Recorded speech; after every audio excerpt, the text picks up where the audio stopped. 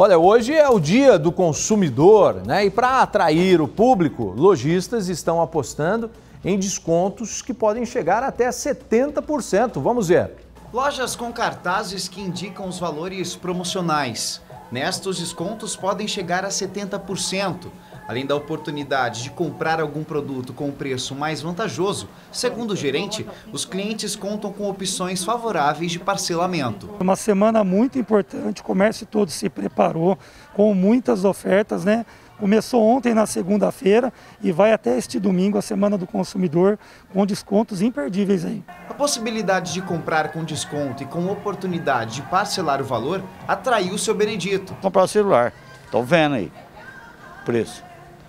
E na sua pesquisa deu uma, uma queda mesmo? É, tô achando que deu, tá bom. Leandro passava na frente da loja quando percebeu os cartazes que anunciavam os descontos. Estava passando pelo calçadão, que é de Rio Preto, e dei uma paradinha, vi uns descontos, aquelas plaquinhas chamativas, né? E logo já entrei para ver o que eu estava procurando. Mas vou continuar procurando ainda, porque preços tem que pechinchar, né? Com o avanço da vacinação, o cenário que no ano passado era de restrições por causa da pandemia, em 2022 já traduz expectativa de crescimento para o setor.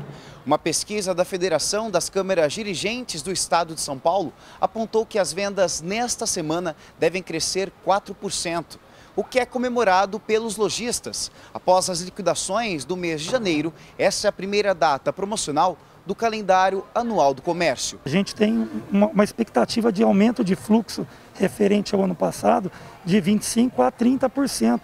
É, com menos restrições, né? Outro ramo que deve se destacar é o de calçados. Essa loja que fica em um shopping de Rio Preto se preparou para a semana. O cliente que levar três pares paga apenas dois. Resultado, na prática, em um desconto de 30%. É um desconto bombástico para uma data super especial. Por quê?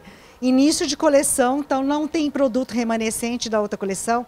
Coleção é toda nova, então ele vai conseguir usufruir desse produto que ele comprar durante todo o nosso inverno. O Procon tem trabalhado para combater as fraudes. Jean Dornelas, diretor da instituição, alerta os consumidores quanto aos falsos descontos. Cuidado com essa história que é pagamento sem juros.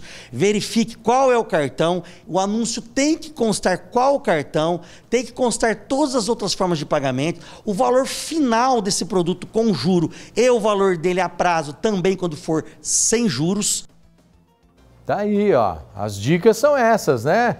Boas compras. Quem está aí, de repente, no centro da cidade, no shopping, né? tem que aproveitar realmente e tomara que o desconto seja real, né? Para movimentar o caixa é importante, né? É importante. É, tem, tem muita gente que está querendo consumir. O que, que você vai, vai comprar alguma coisa hoje?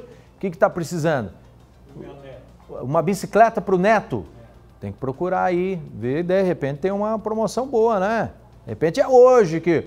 Qual, qual é o neto que vai, Piquica? Qual é o neto? Maior? Qual é o nome dele? Pedro. O Pedro. De repente o Pedro já vai ganhar uma bicicleta. Você vai comprar alguma coisa também, Tiago? Hã? Talvez, é, sabendo essas promoções, tem que dar uma rodada aí, pesquisar, não é verdade?